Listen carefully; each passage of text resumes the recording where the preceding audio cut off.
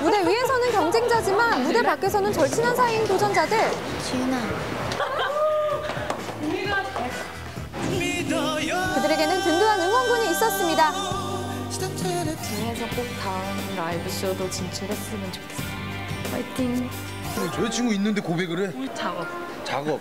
야, 너 진짜 나빴다. 열애인 부럽지 않은 인지윤, 박태영.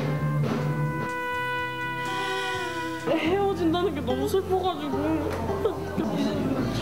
선의 경쟁을 펼쳤던 두 사람의 대결 여기서 끝나지만 우정은 계속되겠죠?